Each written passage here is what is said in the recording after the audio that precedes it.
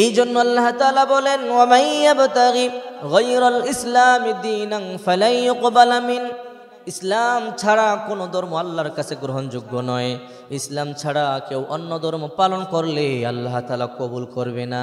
একমাত্র শ্রেষ্ঠতম গ্রন্থ হলো আল কোরআন আর শ্রেষ্ঠতম ধর্ম হলো ইসলাম। কথা বলেন ঠিক কি না এই জন্য আমরা দেখেছি পৃথিবীর নিকৃষ্ট মানুষগুলো ইসলাম কবুল করে কোরআনের ছায়া মতো চলে, কোরআনের প্রথম মতে চলে, পৃথিবীর শ্রেষ্ঠ মানুষদের মতো হয়ে গেছে।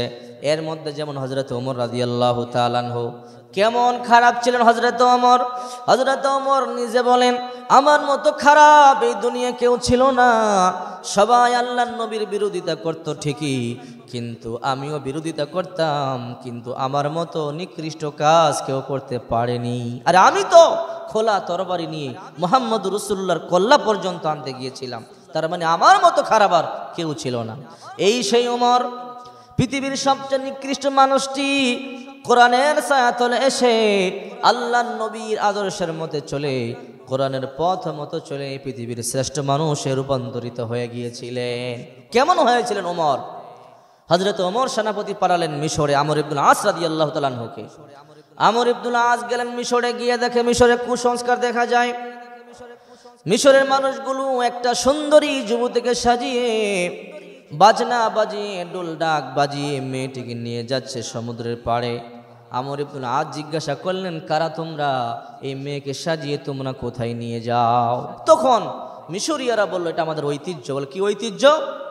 বলে, যখন আমাদের নীল নদ শুকিয়ে যায়, তখন আমরা একটা কুমারী যুবতী, সুন্দরী যুবতীকে নীল নদে নিয়ে আমরা জবাই দেই, বলি দেই।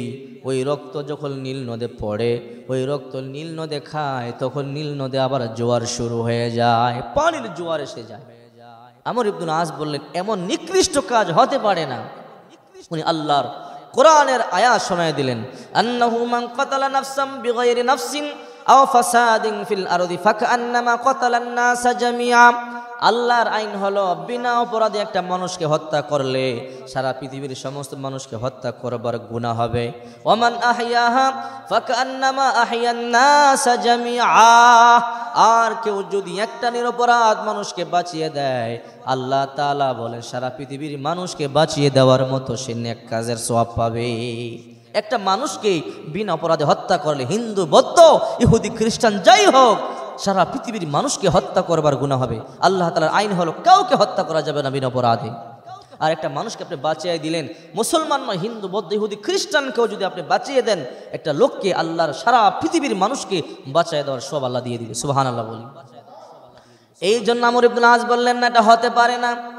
তোমরা একটা কুমারী, যুবতী, নিরপরাধ, একটা নিষ্পাপ মেয়েকে জবাই করবে, এটা হতে পারে না। বলে, তাই নাকি? বলে, কি করব আমরা? নীলনদ শুকিয়ে গেছে, পানি নাই, বলি না দিলে পানিও আসবে না। আমর ইবনুল আস মদিনায় চিঠি লেখলেন ওমর রাদি আল্লাহ তালানহুর কাছে, আমিরুল মুমিনিন, এই সমস্যায় পড়েছি, সমস্যার সমাধান দেন। হজরত ওমর রাদি আল্লাহ তালানহু উল্টো চিঠি লেখলেন। আমর ইবনুল আসকে বললেন, আমর ইবনুল আস, তোমার কাজ হলো এই চিঠিটা তুমি সমুদ্রের বুকে ফেলে দিয়ে আসবে। তোমার কাজ হলো এই চিঠি সমুদ্রে ফেলে দিয়ে আসবে। চিঠির মধ্যে লেখলেন, ইয়া বাহারন নীল, হে নীল সমুদ্র, নীল সাগর, শোন, মিন আমিরুল মুমিনিন ওমর ইবনুল খত্তাব, আমি হইলাম মুসলমানদের নেতা ওমর ইবনুল খত্তাব বলছি হ্যাঁ নীলনদ তুমি যদি তোমার বলে পানি চলো, তুমি যদি তোমার ক্ষমতায় জোয়ার বাটা হও, তাহলে আমার কোনো আপত্তি নেই। জোয়ার হোক বা না হও সেটা আমার কোনো দেখবার বিষয় নয়। আর যদি তুমি আল্লাহর সৃষ্টি হও তাহলে অবশ্যই আমি হইলাম মুসলমানদের ইমাম। মুসলমানদের ইমাম হিসাবে আমার নির্দেশ হলো তোমার প্রতি। আর আল্লাহর গোলামদের জন্য, মোমেনদের জন্য অবশ্যই নীল নদে তুমি পানি, তুমি প্রাণী, তাড়াতাড়ি তুমি জোয়ার শুরু হয়ে যাও। সুবাহান আল্লাহ বলেন। তুমি তোমার বলে যদি চলো, তাহলে আমার কোনো কথা নয় পানি তুমি চলো না চলো। নীল নদের জোয়ার হোক, বাটা হোক দেখবার বিষয় নয়। আর যদি আল্লাহর হুকুমে চলো, তাহলে আল্লাহর গোলামদের জন্য অতি দ্রুত তুমি পানি চলা শুরু হয়ে যাও। সুবাহান আল্লাহ বলেন। এই চিঠি যখন মিশরে পৌঁছল, আমর ইবদুল আসরাদি আল্লাহ তালানহু বলেন, চিঠি পেলাম। চিঠি পেয়ে আমি চিঠি নিয়ে চললাম সেই নীল নদের কাছে। তখন নীল নদে এক ফোঁটা পানি ছিল না, নীল নদের তলাটা ফেরে চৌচির হয়ে গিয়েছিল। যেন খরা লেগে আছে। আমি গেলাম, চিঠি নিয়ে সেই চিঠি আমি নীল নদের মধ্যে ফেলে দিলাম। আর বললাম, হে নীল নদ, এই চিঠি আমার নয়। এটা মুসলমানদের ইমাম হজরতে ওমরের পক্ষ থেকে চিঠি। এই কথা বলে, আমি বিসমিল্লা বলে নীল নদের তলদেশে সেই শুকনার মধ্যে রেখে আমি চলে আসলাম। আমর ইবদুল আসরাদি আল্লাহ তালানহু বলেন, ওমরের চিঠি আমি নীল নদের যখন তলদেশে রেখে আমি চলে আসব আল্লাহর কসম করে বলি, আমি তখনও কিনারায় আসতে পারি নাই। এর মধ্যেই নীল নদের মধ্যে স্রোত চালু হয়ে গেল। সুবহান আল্লাহ নীল নদে পানির বন্যা বয়ে গেল। এই হলো ওমর। এক লোক মদ কিনে যাচ্ছেন, ওমরের শাসন আমল তখন। মদ কিনে যখন মদের গল্লি দিয়ে চলছেন, তখন হজরত ওমর রাদি আল্লাহ সামনে পড়ে গেলেন।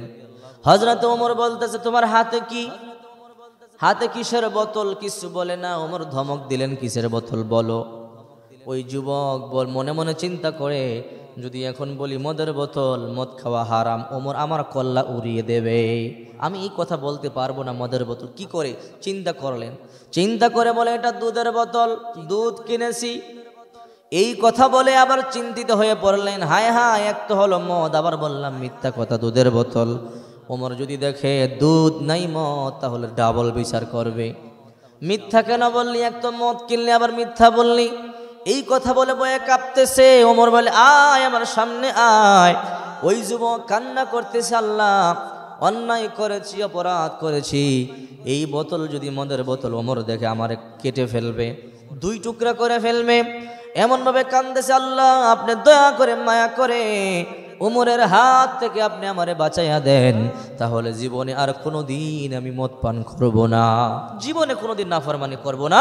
ওই যুবক এই কথা বলে কান্না করতেছে। এমনভাবে কান্না করতেছে, আল্লাহ আপনি আমারে মাফ করে দেন, চোখের পানিগুলো সেরে সেরে যখন কান্না করে, আল্লাহ তালা ওমরের ওই ওই মদওয়ালার ওই মদের বোতলকে আল্লাহ তালা মদ খেয়ে দুধে রূপান্তরিত করে দিলেন। সুহান আল্লাহ ওমর বলে, আমার সামনে আয়, দেখি তোর হাতে কি ধমক দিলেন, মদের বোতলটা ওমরের হাতে দিলেন। এখন দেখা যায় ভিতরে মদ নাই, পুরো মদ দুধে রূপান্তরিত হয়ে গেছে।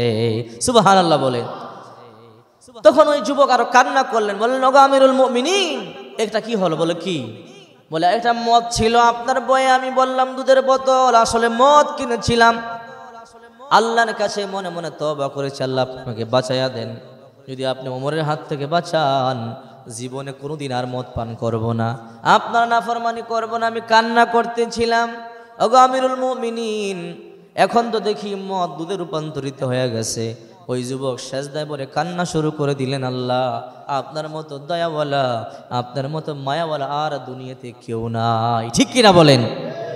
এই জন্য বলি, ভাই অযুবতীবন অনেক গুণা করেছি, অন্যায় করেছি, অপরাধ করেছি, এখনও সময় আছে। আল্লাহর কাছে তওবা করো।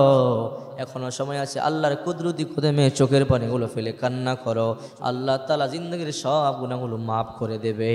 ইসলাম এমন অনেক ধর্ম, ইসলাম সন্ত্রাসী শিখায় না। ইসলাম কখনো মারামারি, কাটাকাটি শিখায় না। ইসলাম মানে শান্তি। ইসলামের সায়াতলে আসো, দেখবে শান্তিতে জীবনটা পরিপূর্ণ হয়ে যাবে। ঠিক কিনা জোরে বলেন? যেই ওমর পৃথিবীর সবচেয়ে নিকৃষ্ট মানুষদের মধ্যে একজন ছিলেন, আর সেই ওমর পৃথিবীর সবচেয়ে ভালো মানুষদের মধ্যে একজন হয়ে গেলেন। ঠিক কিনা জোরে বলেন?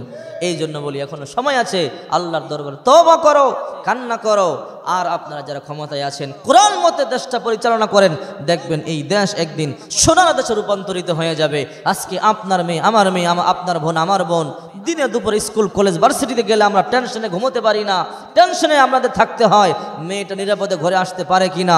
আর সেই ওমরের শাসনামল, যখন জাহিলি যুগ ছিল, তখনও একটা মেয়ে রাতকে রাত, দিনকে দিন, চব্বিশ ঘণ্টা রাস্তায় চলতে পারতো। এমন কারও সাহস ছিল না ওই যুবতীর দিকে। কুদৃষ্টিতে তাকাবে, ঠিক কিনা জোরে বলেন?